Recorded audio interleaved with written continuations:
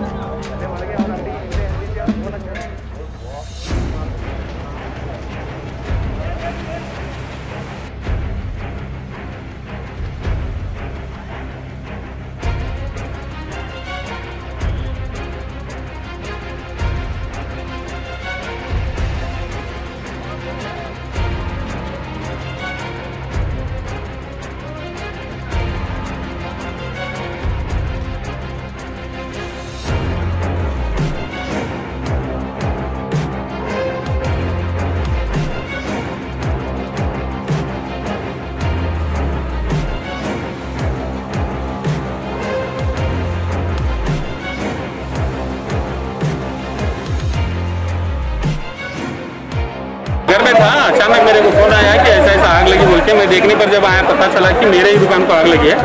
वो दुकान मेरा ही है वो मेरा किराना दुकान था लॉकडाउन होने की तरफ़ से पूरा दुकान बंद था। हो सकता है शॉर्ट सर्किट से भी हुआ हो ठीक है तो पुरानी इमारत थी वो। कितने बजे लकड़ी एक तकरीबन साढ़े तीन पौने चार बजे। कितने दुकान साढ़े तीन पौने चार बजे। चार दुकान को अंगार लगी है लेकिन एक दुकान तो पूरे तौर पर जल गया है। किराना दुकान तुम्हारा जी। मेरा ही। है वो जो किराना माल वगैरह था सब सबका सब नुकसान हो गया आपका नाम है ಇದಿಷ್ಟು ಇವತ್ತಿನ ಪ್ರಮುಖ ಸುದ್ದಿಗಳು ನಿರಂತರ ಸುದ್ದಿಗಾಗಿ ನೋಡ್ತಾ ಇರಿ ಸ್ವರಾಜ್ ಎಕ್ಸ್ಪ್ರೆಸ್ ಕನ್ನಡ ನಾನು ಜಯಶ್ರೀ